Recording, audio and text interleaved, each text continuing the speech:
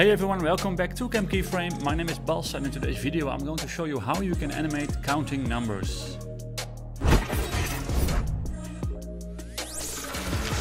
So as you can see here I have this number and if I press play then you can see that it's kind of counting upwards automatically. I'm not doing anything, only we have these two keyframes. So how we can do this I'm going to show you with a bunch of different tricks here as well. So let's just uh, duplicate this one and let's turn this one off and let's just um, delete everything here so I can start from scratch because it's these are expressions. Okay, so what you need to do here, let's call this uh, number, number. So we have this 35% here, it doesn't matter. We're going to add a, an animation, no, effect, go to expression controls and add a slider control, that's one.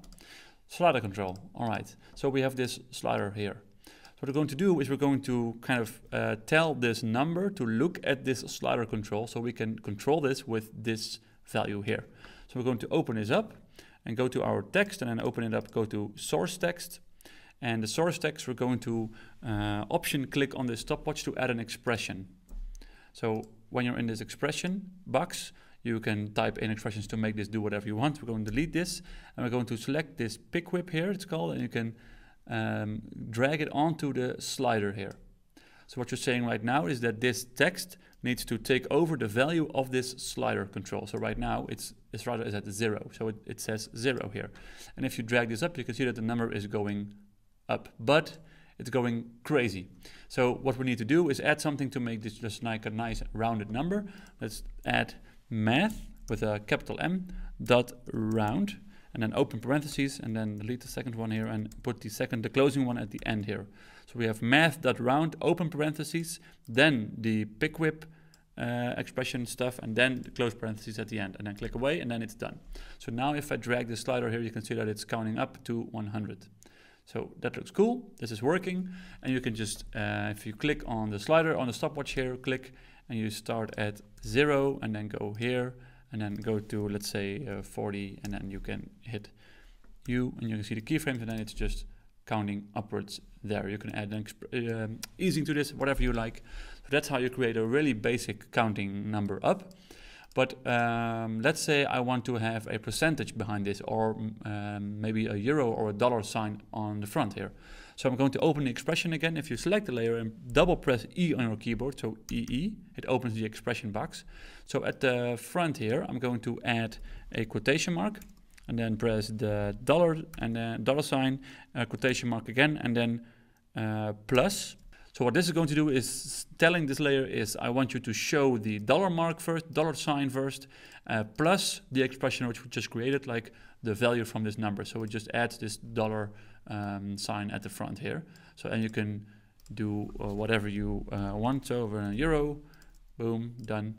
Uh, or you can delete this and at the end here do the same thing. So let's say you want this whole thing to show the value of the slider plus at the end. So plus quotation marks, uh, the percentage sign, and then it adds your and then it adds the second one here uh, by itself. So uh, put the value in between quotation marks and then boom, you have this percentage behind it. So another cool trick I want to show you is if you want to have like 40,35% or something, or 40,1 or 50,6, whatever. We have we want to add some decimals. So I'm going to just for this keep it overview, delete the percentage here, and need to delete the math.round here. Um, because we don't want this math.round, we want to uh, you know kind of have these two one or two decimals, whatever. So we're going to delete that, delete the parentheses here, or that, uh, yeah, and here as well.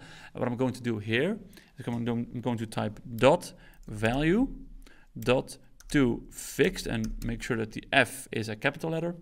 And then in, uh, uh, in parentheses, uh, so parenthesize a number. So I'm going to go to one, uh, like that, click, and there you have, if you turn the slider up, it's going to count from uh, 49, let's say 40, comma 0 until 49,9 and then if you go one step further it's going to go to 50 so uh, that's how you can add a decimal or you can say let's make this number 2 so you add two decimal points here uh, it's counting up.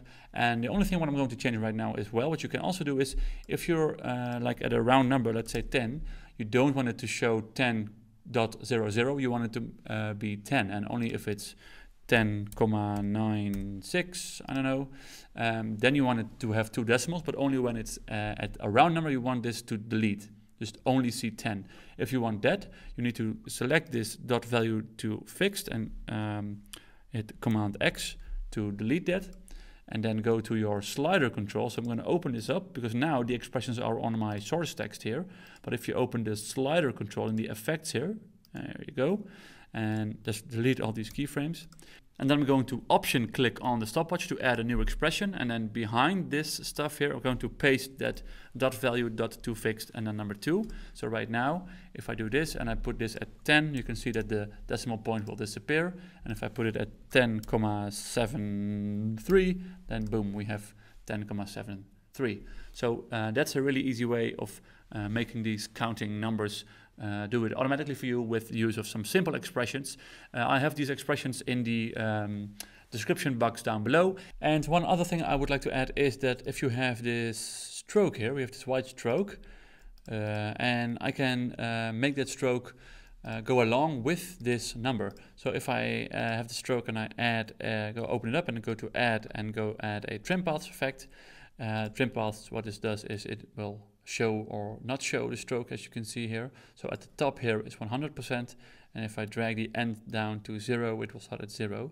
So what I can do if I, if I can just select this number here slider control and if I just select click this button here this toggle viewer lock and it just stays there uh, if I click away so and then go to your end here and then drag this uh, pick whip over to the slider control to this here the slider and then boom right now if you uh, change the slider you can see that the number is changing along with it. But just be uh, keep in mind that you can only go to 100 because trim paths works from uh, 0 to 100. So if you go over that, it doesn't work anymore. But uh, all between 0 and 100 works, so you can get this nice loading bar. If you would like to download this uh, project file so you can just look for yourself and see what's in here and copy the, the things and everything. You can do that by supporting us on Patreon.